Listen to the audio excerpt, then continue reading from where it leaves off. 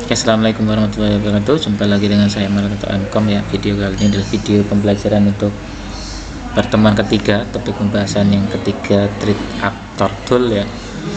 E, Untuk mata kuliah jaringan komputer expert ya. Oke, pada kali ini kita akan membahas tentang e, attack tool ya. Jadi alat yang digunakan untuk melakukan serangan ya jadi untuk mencari kerentanan si aktor itu harus mempunyai sebuah teknik atau tool. Nah kalau zaman dulu itu mereka harus jago ya di dalam tekniknya. Tetapi sekarang bisa tertutup ya cukup dengan membuka tool, tool tertentu. Kita nggak perlu menggunakan teknik bisa melakukan itu. Jadi karena sekarang itu sudah enak ya jadi mereka cukup menggunakan tool saja tanpa menggunakan teknik yang mendalam ya. Nah evolusi dari tool keamanan ini ada banyak ya. Ya untuk penetration testing tool ya untuk melakukan penetrasi tes penetrasi ya. Toolnya itu ada banyak tergantung dari apa yang akan kita exploit ya. Yang pertama contohnya misalnya kita ingin mengcrack password ya.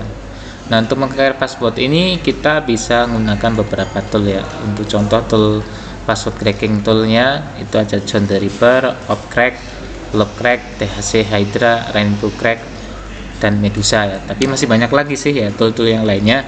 Tapi yang banyak dipakai ini ya. Kemudian ada wireless hacking tool ya. Wireless hacking tool ini dipakai untuk menghack wireless. Jadi kita nggak perlu punya akses dengan tool ini kita bisa masuk. Contohnya Aircrack NG ya. Ini biasanya include dalam Kali Linux kemudian ada Kismet, Insider, Kismek, Versip, terus Tumbler ya contohnya ini ya. Masih banyak yang lainnya lagi ya. Kemudian network scanning hacking tool nah ini untuk melakukan uh, scanning jaringan ya. Dan uh, melakukan hacking toolnya ya. Contohnya di sini jadi biasanya untuk ngelik ngecek ya port-port yang terbuka itu apa aja ya Contohnya ada Nmap, Superscan, Angry ID Scan, NetScan Tool. Terus kemudian ada paket crafting tool ya. Ini biasanya digunakan untuk ngetes firewall. Firewall eh, contohnya ada Hyping, Scapi, Socket, Yersinia, Netcat, Nping, Nemesis.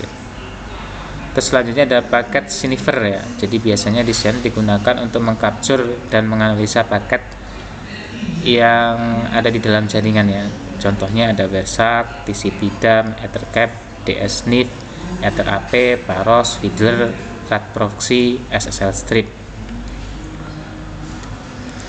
Oke, kemudian ada penetration testing tool yang lainnya, ada rootkit detector ya. Ini biasanya dipakai untuk ngecek uh, apa kayak directory kemudian file ya. Itu ada IDE net filter PF open PSD paket filter ya. Kemudian ada fuzzer atau search vulnerability. Ini di penyerang dipakai untuk e, mencari kerentanan dari sebuah komputer ya. Kerentanan keamanan dari sebuah komputer dicari dengan tool-tool contohnya ada skip fish WTV W3AF ya kemudian ada forensic tool ya. Nah ini biasanya dipakai untuk tipe jenis wet hacker ya. Wet hat hacker. Contohnya toolnya ada Slutkit, Helix, Maltego, Encast kemudian ada debugger debugger ya. Tool ini dipakai oleh black hat biasanya. Uh, jika dia sedang uh, menulis serangan ya Nah ini juga kadang juga dipakai juga sih untuk wet hat ya untuk menganalisa malware ya. Debugging tool kayak DGD, GDB, WinPDG, IDA Pro, Immunity Debugger ya. Kemudian hacking operating system, nah sistem operasi yang dipakai buat hacker ya. Itu ada Kali Linux, Backbox Linux dan sebagainya ya. Ada, ada yang lainnya juga ya, tetapi yang paling populer ini Kali Linux ya kemudian ada encryption tool ini dipakai untuk mengenkripsi ya untuk mengenkripsi sebuah data ya kayak VeraCrypt, Cybershield, OpenSH, OpenSL, Tor, OpenVPN, Tunnel ya. Itu tool-tool yang bisa dipakai untuk enkripsi ya. Kemudian ada vulnerability exploitation tool. Ya. Nah, ini digunakan untuk mencari kerentanan ya. Nah, contohnya ada Metasploit, Core Impact, SQL Map, Social Engineering Toolkit, NetSparker. Kemudian ada vulnerability scanner ya. Ini untuk men, uh, menyeken kerentanan ya. Nah, contohnya ada Nipper, Core Impact, Nessus, Sign, OpenFast. Nah, kemudian ada lagi tipe-tipe serangan ya. Tipe-tipe serangan ada eavesdropping attack. Biasanya ini untuk mengcapture atau mendengarkan uh, traffic jaringan ya. Jadi bisa kayak istilahnya sniffing atau snooping ya.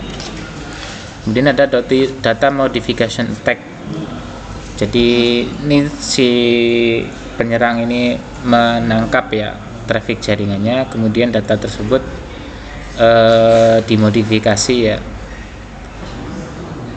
kemudian dikembalikan lagi ya istilahnya gitu ya. Jadi peng, pengirim kan ngirim terus kemudian dimodifikasi sama datanya terus kemudian diserahkan ke penerima. IP address spoofing attack. Nah ini dia biasanya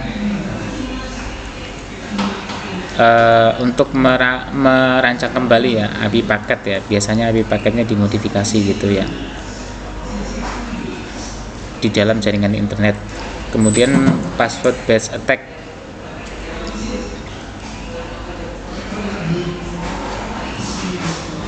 Nah dia uh, apa namanya jadi nyerang ya. Nyerang uh, sebuah sistem.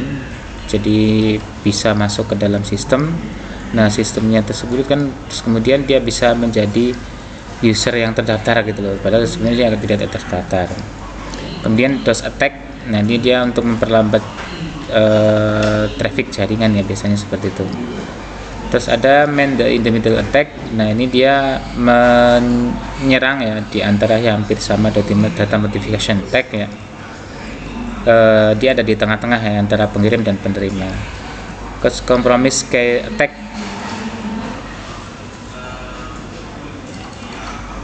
jadi ini biasa digunakan untuk mengakses security komunikasi ya. Antara pengirim dan penerima itu diserang ya. Komunikasi pada saat komunikasi. Sniffer attack nah dia biasanya mengambil bisa memonitoring membaca menangkap data jaringan ya. Jadi data-data yang ada di jaringan itu dia tangkap ya. Oke mungkin itu ya untuk topik ketiga pertemuan ketiga. Mata kuliah jaringan komputer expert ya. Kurang lebihnya mohon maaf. Saya akhiri. Wassalamualaikum warahmatullahi wabarakatuh